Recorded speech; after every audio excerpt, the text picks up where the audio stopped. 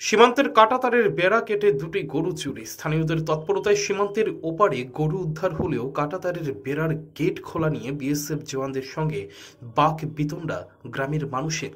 রাস্তা অবরোধ, উদ্ধার করা গরু বিএসএফ এর হেফাজতে।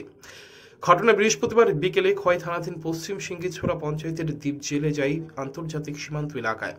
জানা যায়, গত বৃহস্পতিবার দ্বীপ জেলে যাই পাড়ার জনক প্রান্তোষ দত্তের দুটি গরু বাংলাদেশের চোরেরা চুরি করে নিয়ে যায়। রাতে বিএসএফকে ঘটনা জানানো হয়। কাটাতারের বেড়ায় চোরেদের কাটা অংশও দেখা গেছে।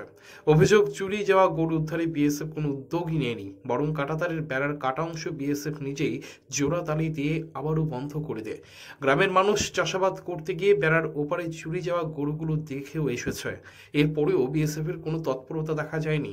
জওয়ানদের ওপর ভরসা হারিয়ে বৃহস্পতিবার বিকেলে দ্বীপ জেলে যায় পাড়ার বাসিন্দারা এক নম্বর গেট দিয়ে বেড়ার ওপারে গিয়ে চুরি যাওয়া গরুগুলো উদ্ধার করে নিয়ে আসে। বিপত্তি বাধে অন্য কারণে। উদ্ধারকৃত গরু দুটি নিয়ে কৃষকদের ফিরে আসার সময় জওয়ানরা গেট খুলতে রাজি না হওয়ায় গ্রামের মানুষ খোয়াই কমলপুর রাস্তা অবরোধ করে।